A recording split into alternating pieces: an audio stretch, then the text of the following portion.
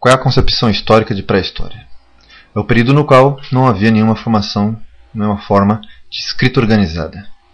A divisão clássica da pré-história, essa divisão clássica já não é muito mais usada, é paleolítica e neolítica, ou seja, a pré-história paleolítica e a neolítica.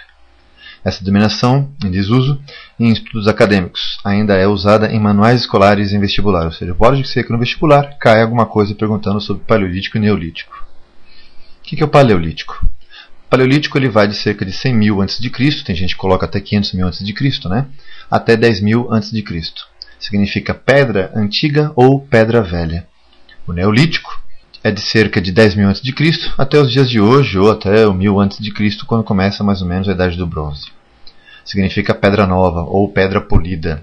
Já o Paleolítico, lembrando, é pedra lascada. Essa concepção evolucionista do fato não é criacionista bíblica, pois essa teoria é mais usada nos vestibulares, ou seja, o vestibular pede mais a ideia de evolução das espécies, não a de criação, no qual diz que Deus criou o mundo em seis dias. Lembra, ele descansou no sétimo. Paleolítico. As primeiras famílias urbanas se agrupavam em tribos, talvez ah, como uma forma de defesa, além de facilitar a caça, pesca, coleta e cuidar das crias, né, que são as suas crianças. Então isso facilita. O ser humano é um animal social. Ele tem necessidade de sempre manter-se o quê? Em grupo. Eles caçavam em grupo, usando ferramentas rústicas como lança, pedras, ah, para tiradeiras e facas. Além do mais, o pessoal ainda tem a teoria que eles jogavam os animais em abismo, né, corriam atrás dos animais, fazendo que esses animais se dirigissem a abismos. No Paleolítico ainda nós temos as ferramentas iniciais, eram de pedra lascadas, ossos e galhos. Daí vem a dominação antiga de pedra lascada. Nesta fase tem-se o início das crenças, pois passaram a enterrar seus mortos, primeiramente homens adultos, além de pintura nas cavernas. É isso que muita gente fala que vai dar a tal da religião. Claro, uma religião ligada à magia.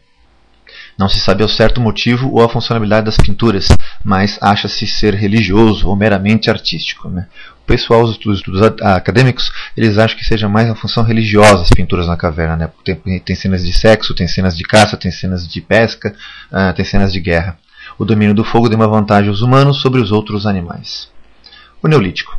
Cerca de 10 mil a.C., nessa época ocorreu para a passagem do período Paleolítico para o Neolítico com a chamada Revolução Agrícola e Urbana, onde o homem passou a dominar a agricultura, inclusive domesticando animais, e morar em povoados, vilas ou cidades. Não esqueça que a palavra revolução é porque não se tinha agricultura antes e nem se morava em vilas. Essa é a função da palavra revolução aqui no caso.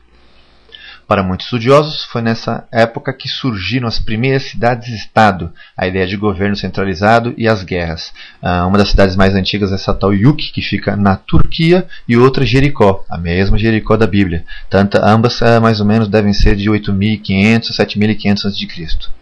Nesse período, tem-se o crescimento e o aprimoramento das técnicas de cerâmica, tecelagem, metalurgia, além dos trabalhos refinados em pedras e ossos.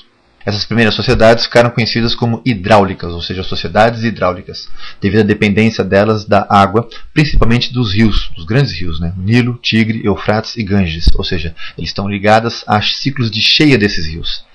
Esses povos estavam organizados geralmente em tribos, com um poder central forte, na maioria dos casos tendo sendo teocrático, ou seja, um poder ligado à religião. Assim era no Egito e na Mesopotâmia.